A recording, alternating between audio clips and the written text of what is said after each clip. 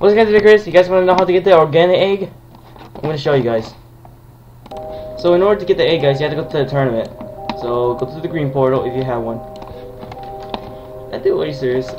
Just have to wait. So like sometimes, guys, like it's kind of hard to get the organic. You know why? Because there's not much. Ah, great. Darn it. It's set by developer. That's what I mean, guys. You can't do ship if it's set set by the developer. That means that you can't ship, but see, which is kind of hard.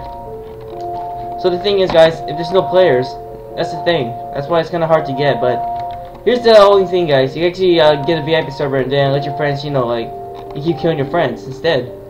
Like you guys can see my other videos. I'll show you. So here's an example, guys. Okay, so you see this, guys. I bring my other account and I keep killing.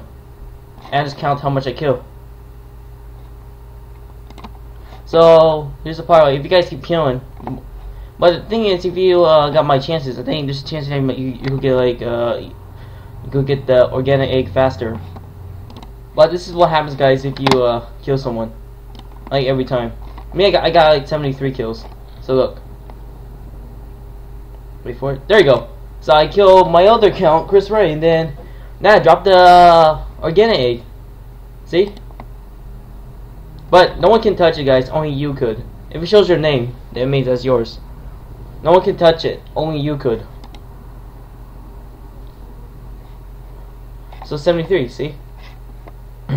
touch it, and you got it. I said get the organic egg, guys. Peace and bye.